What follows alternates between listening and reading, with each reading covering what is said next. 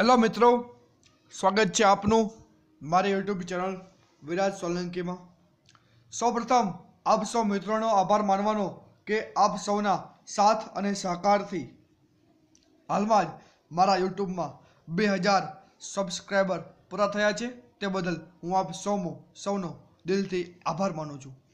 અને હાલમાં જે આપણે વીડિયો સિરીઝ બનાવી રહ્યા છીએ કે ધોરણ બારમાં વાણિજ્ય વ્યવસ્થા અને સંચાલન ઇકોનોમિક્સ અને એસપીસીસી વિષયમાં એંસી પ્લસ માર્ક્સ કેવી રીતે લાવવા તેની આપણે રણનીતિ બનાવી રહ્યા છીએ. આપણે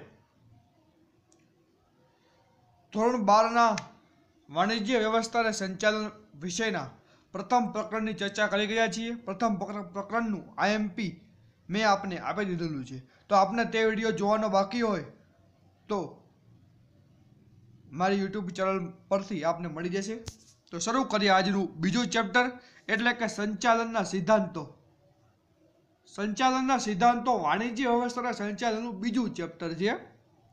અને તેમાંથી આપને શું શું પાકું કરવાનું છે? કયા કયા વિભાગમાં, કયા કયા સેક્શનમાં બોર્ડમાં પ્રશ્નો આવવાના છે?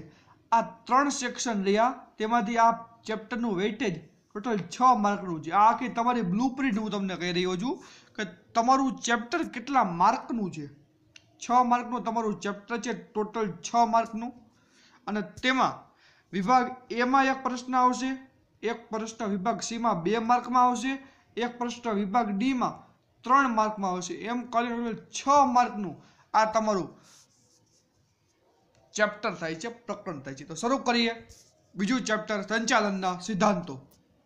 તેનો અર્થ સમજી લઈ કે ધંધાકીય એકમમાં માનવ વર્તણૂકને સાનુકૂળ કરવા માટે અમુક નિયમો કે સિદ્ધાંતો ઘડવા પડે છે, જેથી ધ્યેય સિદ્ધિ સરળ બને. આ સિદ્ધાંતોને સંચાલનના સિદ્ધાંતો કહે છે. કોઈ પણ આપણી પાસે ધંધાકીય એકમ હોય અને માનવ વર્તણૂકને સાનુકૂળ કરવી હોય, એટલે કે વ્યવસ્થિત ગોઠવવી હોય, તો અમુક નિયમો કે સિદ્ધાંતો ઘડવા પડે. નિયમને સિદ્ધાંત વગર કંઈ થતું નથી, એટલે નિયમો સિદ્ધો કરવા પડે. અને જેથી ધ્યેય સિદ્ધિ સરળ બને. ધ્યેય સિદ્ધિ સરળ બને. આ સિદ્ધાંતોને સંચાલનના સિદ્ધાંતો કહે છે. બરાબર છે? એટલે સંચાલનના સિદ્ધાંતોનું સ્વરૂપ. તેમાં પહેલું, સાર્વત્રિક સ્વીકૃતિ, માનવ વર્તણૂક પર આધારિત, પરિવર્તનશીલતા, આકસ્મિકતા અને સામાન્ય માર્ગદર્શિકા. આ પાંચ સ્વરૂપ સંચાલનના સિદ્ધાંતોનું મહત્વ જોઈ લઈ કે તેનું મહત્વ શું છે? તો સંચાલકોની કાર્યક્ષમતામાં વધારો, સાધનોનો ઇષ્ટ ઉપયોગ અને અસરકારક વહીવટ, વૈજ્ઞાનિક અને તાર્કિક નિર્ણયો માટે મદદરૂપ, બદલાતા જતા ધંધાકીય પર્યાવરણને પહોંચી વળવા, સામાજિક જવાબદારી અદા કરવા સંશોધન, તાલીમ અને વિકાસ માટે ઉપયોગી. મેં આપને પહેલાં પણ કીધેલું કે હું બોલું અને તમે સાંભળો તેમાં કંઈ નહીં. વળે તમારે એક નોટ અને પેન લઈ હું જે બોલું છું તે વીડિયો પોસ્ટ કરીને લખવું પડશે. તો કોઈની તાકાત નથી કે તમને બારમામાં, બીએમાં એસી ઉપર માર્ક ન આવે. હું બેઠો હું તમ તારે આઈએમપી આપવા. આ બધા પ્રશ્નો રહ્યા. આ પ્રશ્ન ત્રણ માર્કનો. આપણે પાકો કરીને જ જવાનો પૂછે કે ન પૂછે આઈએમપી તો હું મારી દ્રષ્ટિએ તમને કહું એ વાત જુદી છે, પણ તમારા મનમાં હોવું જોઈએ કે આ પ્રશ્ન મારે બધા પાકા કરવા છે એમ. લાઈન ટુ લાઈન પાકા કરવા એમ. તો એનો અર્થ જોઈ લઈ સંચાલનની વિચારધારાઓ. સંચાલનની વિચારધારાઓ પર નજર ફેરવી લઈ તેનો અર્થ જોઈ લઈ સંચાલનની વિચારધારાઓનો. તો સંચાલન ક્ષેત્રે થયેલા વિવિધ સંશોધનો, અભ્યાસ અને પરિણામોને આધારે સંચાલનની વિચારધારાઓનો વિકાસ થયો છે. આ બધા સંશોધન થાય, અભ્યાસ થાય અને પરિણામો મળે. એના સંચાલનની વિચારધારા હોય તો વિકાસ તો થવાનો છે. તો આપણે વાત કરીએ પેલી કે પ્રશિષ્ટ વિચારધારા.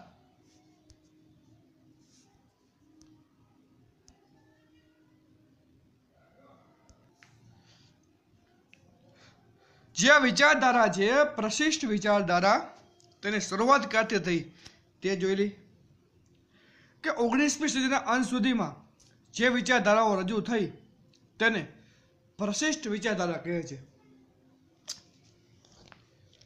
પરીક્ષામાં એક માર્કમાં એમસીક્યુમાં પૂછાય કે ઓગણીસમી સદીના અંત સુધીમાં જે વિચારધારાઓ રજૂ થઈ તેને કઈ વિચારધારાઓ રજૂ તેને કઈ વિચારધારાઓ કહેવાય? એમ આપી દીધું હોય હેઠે કરતા વિચારધારાઓ આપી દીધી હોય. તો આપણે લખવું પડે કે પ્રશિષ્ટ વિચારધારા.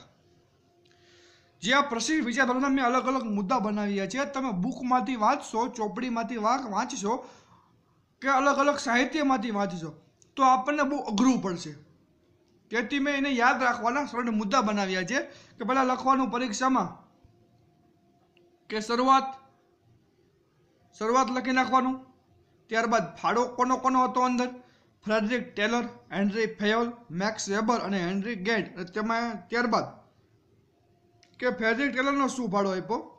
કે રૂઢિગત પદ્ધતિને બદલે સમય અને ગતિ નિરીક્ષણ દ્વારા વૈજ્ઞાનિક રીતે રજૂ થયેલા સિદ્ધાંતોની અપનાવવાની તરફેણ કરી. હેનરી ફેયોલે શું ફાળો આપ્યો? કે ધંધાકીય એકમમાં વિવિધ કાર્યોની સપાટી નક્કી કરી, કાર્યોની મર્યાદા નક્કી કરવાના પ્રયત્નો કર્યા. મેક્સ વેબરે શું ફાળો આપ્યો? કે અમલદારશાહી વિચારધારાનું પ્રદાન? ઔદ્યોગિક ક્રાંતિને લીધે ધંધાકીય એકમનું સ્વરૂપ અને સ્થળ બદલાવા લાગ્યા. નાણાકીય ઉત્તેજનને વધુ સ્થાન આપ્યું અને માનવી અભિગમને ઓછું મહત્વ આપ્યું. તથા ઔદ્યોગિક સંબંધની અવગણના મુખ્ય છે બીજી વિચારધારા કે જે નવ પ્રશિષ્ટ વિચારધારા? ત્રણ માર્કનો પ્રશ્ન.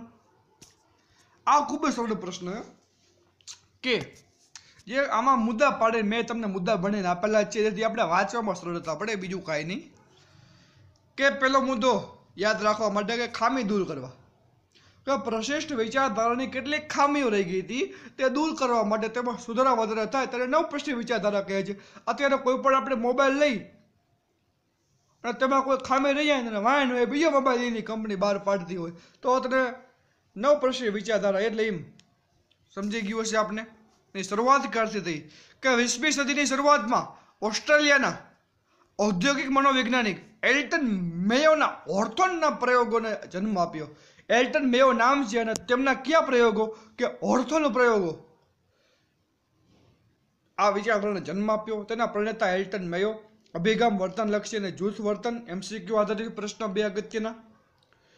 ઉમેરો વ્યવસ્થા તંત્ર માનવ વર્તન અને માનવ સંબંધોનો તેમાં ઉમેરો થયો. યોગદાન કોનું કોનું હતું કે એલ્ટન મેયો હસબર્ગ મેક ગ્રેકર, માસ્લો અને હેન્સિસ લિકટ શાખાઓ માનવ વર્તનવાદી અને વિચારધારા.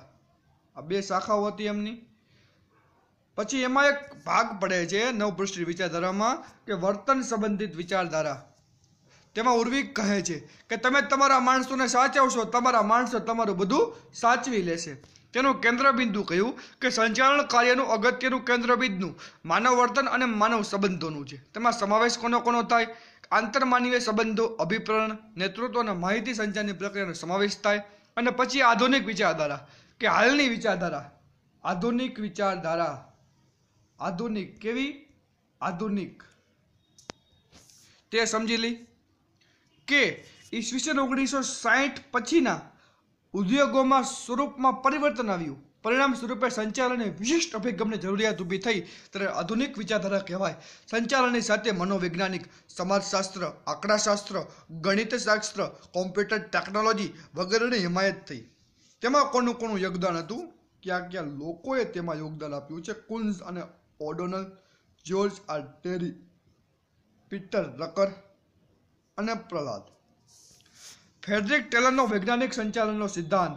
તો ફ્રેડરિક ટેલરની થોડી ઘણી જાણકારી મેળવવી જરૂરી છે કે તે અમેરિકન ઇજનેર હતા. તે શરૂઆતના તબક્કે કારખાનામાં કામ કરતા અને કારખાનામાં કામ કરતા કરતા કરતા કરતા કરતા કરતા કરતા એમાં તરક્કી કરી અને બેતલમ કંપનીના તેઓ મેનેજર થયા. અને મેનેજર થયા બાદ તેઓ તો સંચાલનના, વૈજ્ઞાનિક સંચાલનના પિતા કહેવા લાગ્યા કે ફેડરિક ટેલર એમસીક્યુનો અગત્યનો પ્રશ્ન કે વૈજ્ઞાનિક સંચાલનના પિતા પૂછાય તો ફેડરિક ટેલર લખવાનું અને આધુનિક સંચાલનના પિતા પૂછાય તો પીટર એફ ડ્રકલ લખવાનું. આ વાત ભૂલાય નહીં. તેની વ્યાખ્યા જોયેલી કે તમે માણસો પાસે શું કરાવવા માંગો છો તે જાણવું અને તેઓ ચોક્કસ રીતે તેઓ ઓછામાં ઓછા ખર્ચે કામ કરે તે જોવું એટલે વૈજ્ઞાનિક સંચાલન. વૈજ્ઞાનિક સંચાલનના સિદ્ધાંતો જોયેલી કે વૈજ્ઞાનિક પદ્ધતિ આયોજન અને અમલીકરણ, કાર્ય વિશ્લેષણ પ્રમાણીકરણ વૈજ્ઞાનિક પસંદગી અને તાલીમ, નાણાકીય ઉત્તેજન કરકસર અને માનસિક ક્રાંતિ. અને વૈજ્ઞાનિક સંચાલનની પ્રયુક્તિઓ છે તે પણ જોઈ લઈએ આપણે. સમય નિરીક્ષણ, ગતિ નિરીક્ષણ અને ભિન્ન વેતન દંડની પદ્ધતિ. ત્રણ માર્કમાં મારી દ્રષ્ટિએ બે હજાર ઓગણીસનો અગત્યનો પ્રશ્ન, બે હજાર ઓગણીસનો અગત્યનો પ્રશ્ન. માર્ચની પરીક્ષાનો ખૂબ જ આઈએમપી આઈએમપી લખી રાખજો તમારી બુકમાં. સમય નિરીક્ષણ, ગતિ નિરીક્ષણ અને ભિન્ન વેતનની પદ્ધતિ સમય નિરીક્ષણ એટલે શું? કોઈ પણ કાર્યનો ભાગ પૂર્ણ કરવા માટે કેટલો સમય લાગે તે વૈજ્ઞાનિક રીતે રજૂ કરવામાં આવે તો અભ્યાસ એટલે વૈજ્ઞાનિક નિરીક્ષણ. ગતિ નિરીક્ષણ એટલે શું? ગતિ નિરીક્ષણ એટલે બિનજરૂરી કે ખોટી દિશામાં થતા બિન કાર્યક્ષમ હલનચલનમાંથી ઉદ્ભવતા બગાડને દૂર કરવાની પદ્ધતિ. ભિન્ન વેતન પદ્ધતિ એટલે શું? કે કામદારોને તેમના કામના અને સમયના આધારે વેતન સંબંધિત ઉત્તેજન આપવાની પદ્ધતિ એટલે ભિન્ન વેતન પદ્ધતિ. કે તમારા કર્મચારીઓએ, તમારા કારીગરોએ કેટલું કામ કર્યું છે, કેટલું વર્ક કર્યું છે, કેટલી મહેનત કરી છે. કે તેના આધારે તેને રૂપિયા આપવાના, તેના આધારે તેને વેતન આપવાનું. એટલે ભિન્ન વેતન દંડની પદ્ધતિ. હેનરી ફયોલની ઔદ્યોગિક સાહસની વહીવટી પ્રવૃત્તિઓ ત્રણ માર્કનો અગત્યનો પ્રશ્ન, બે હજાર ઓગણીસમાં ત્રણમાંથી એક પ્રશ્ન હશે હશે હશે હશે અને હશે.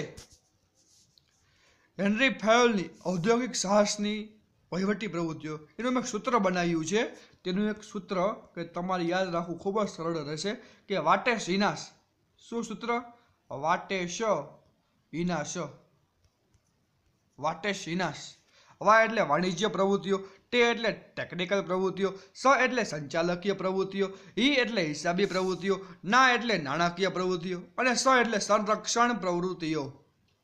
હેનરી ફેવોલના સંચાલનના સિદ્ધાંતો હતા જે ચૌદ આપની બુકમાં આપેલા છે, તે યાદ નથી રહ્યા કોઈને, હોશિયારમાં હોશિયાર તો યાદ ન રહે, પણ મારું એક સૂત્ર છે, તેનાથી યાદ રહી જશે કે સૂત્ર બનાવ્યું છે મેં આ રહ્યું કે હું દોષી કાજુ કે વ્યપશ્ર અને સ ની પાંચ ઘાત બરાબર?